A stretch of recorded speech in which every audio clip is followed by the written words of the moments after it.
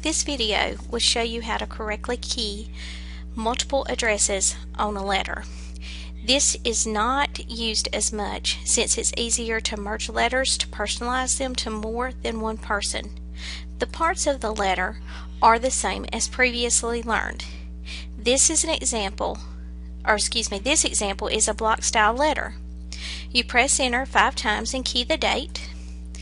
Press enter four times and key the first inside address.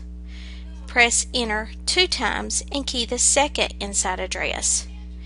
Press enter two times and key your salutation followed by a colon including both names receiving the letter.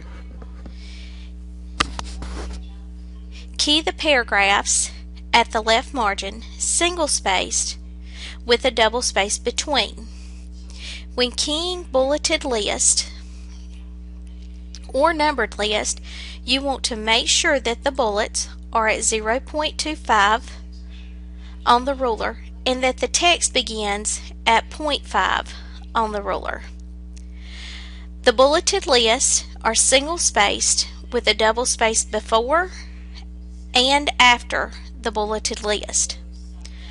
On page 2 of the letter, you will key the page number in the top right corner of the page in the header section.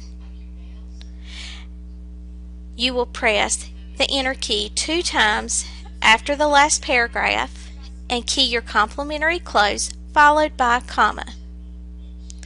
Press enter four times and key the writer's name. Press enter one time, key the writer's title,